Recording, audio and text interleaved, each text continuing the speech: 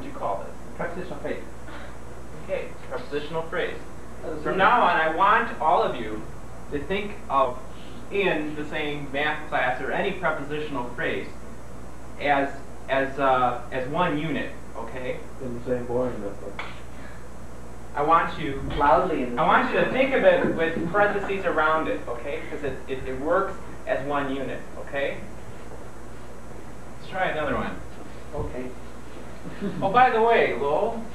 Uh, okay, this is a prepositional phrase. What is the object of the preposition? You ought to know that. Math. Can I teach you math? Class. Math class. Well, don't guess. Okay, then I don't know. Lowell doesn't know. Can anyone Follow help the Lowell? subject, know is the verb. No. Can someone help Lowell? He's having a little problem here. Class is the uh, thing. The Thank you, John. subject. Is he? I asked the object of preposition. Okay. Okay. It's the object of preposition. With math. What is math? Becky, do you know what math is? Adjective.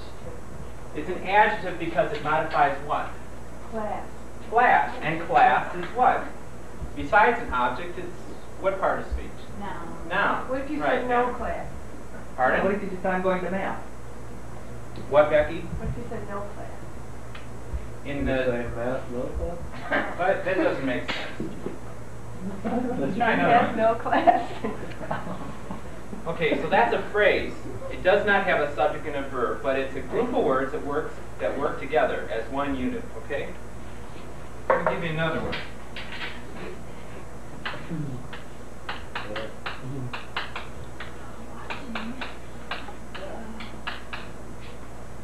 Skunk. Wait a second. Skinny. It's not the one I want. Watching the uh, sky. Watching the sky. I'm ahead of you. It's a participial phrase. Where the I mean, it- it's in the horizon lies. clause. Laura, is this a sentence? No, Why not? because it's not complete. You need something else to go with. Okay. What, do, what did we say about a sentence? What it needs? What are the? It's. Okay. Does it have a subject? Mm-hmm. Okay. Does it have a verb first of all? Yeah. What is it? Lies. Lies. Now, let's say if you took where away, would it have a subject then? Mm-hmm. And what would it be? Horizon. Horizon. Okay. It's subject anyway, without, subject. Okay, but what is this? What is where? That's what makes it a clause. But what is this? Any guy? I- Subordinating conjunction. That's right. Subordinating conjunction. Okay. So it makes this. Subordinating conjunction, what do you mean? This is nine. Okay, we went through conjunctions, John. Subordinating conjunction, what do you mean? It's a kind of conjunction.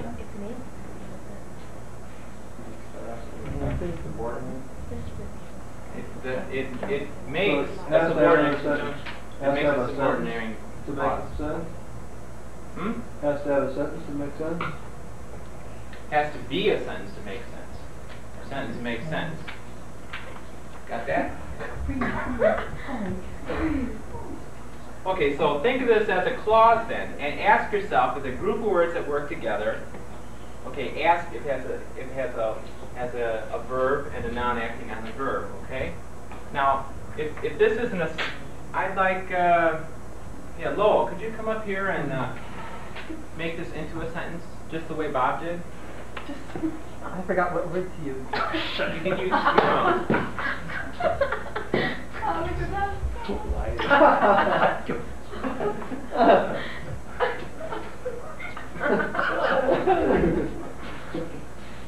No, we're waiting.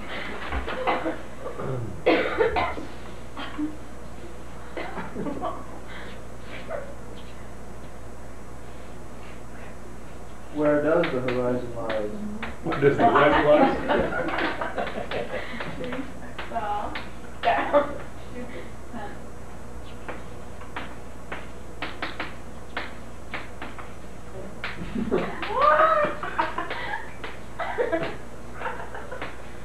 Ground. Okay, Lowell, you can sit down. Lowell,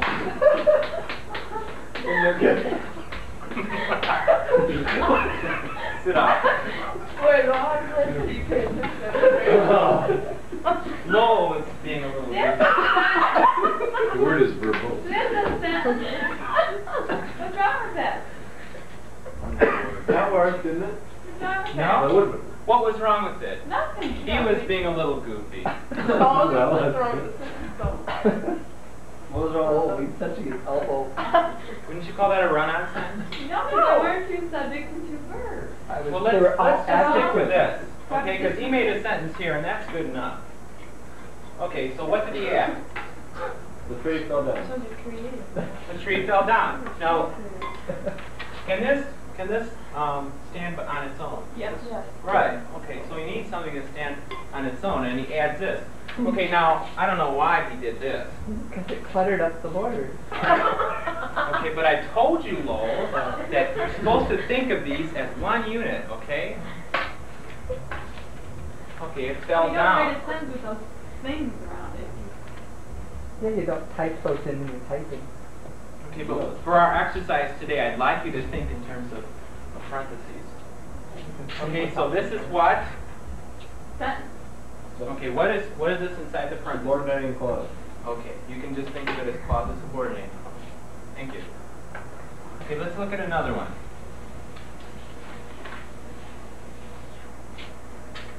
So this is supposed to be the first time This is the first one. introducing yourself to this. Some of you may have had this in eighth grade.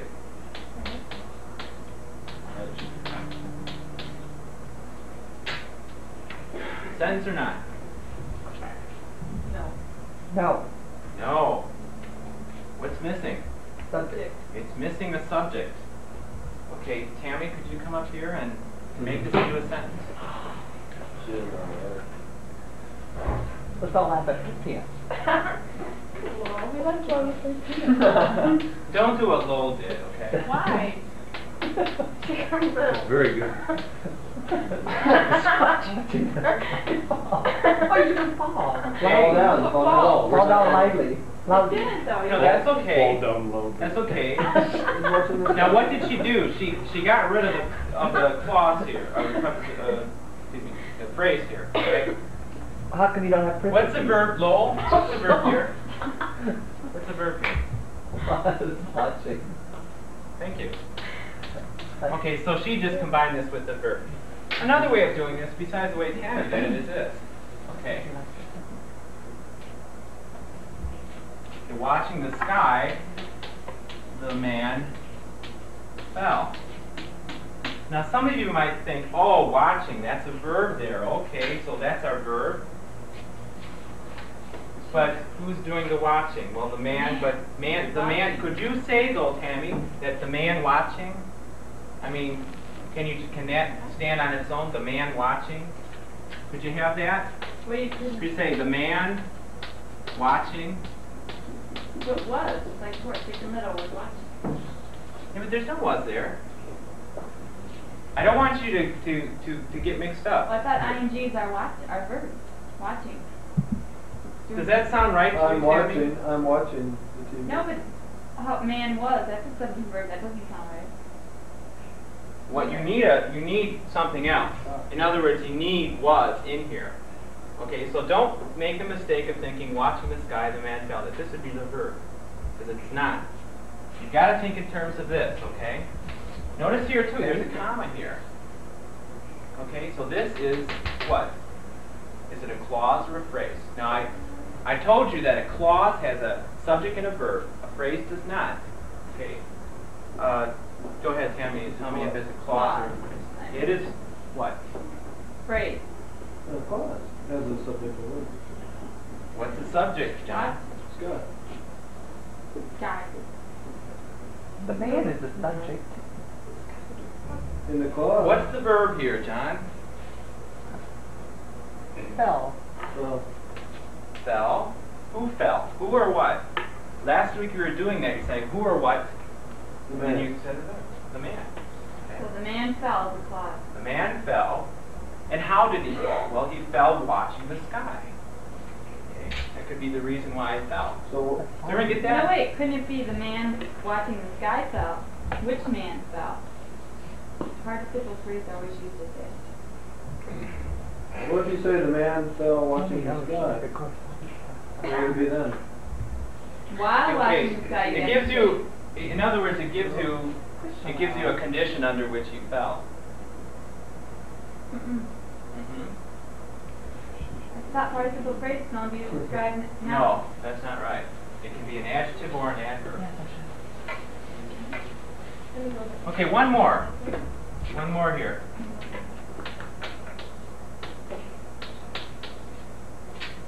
Okay, how about this one? Sentence? No, no. Okay. What can we do to make this into a sentence? I wanted to die. Okay. I want to die. Loudly. Okay? I want you to think when you see a two. Do everybody's attention there? Two, die. No, That's a what? Infinitive. Infinitive. Okay. So this you know? We studied it last week. in this is an infinitive phrase. The man wanted, Can I add prepositional phrases? it's a Yeah, preposition, to to die. die.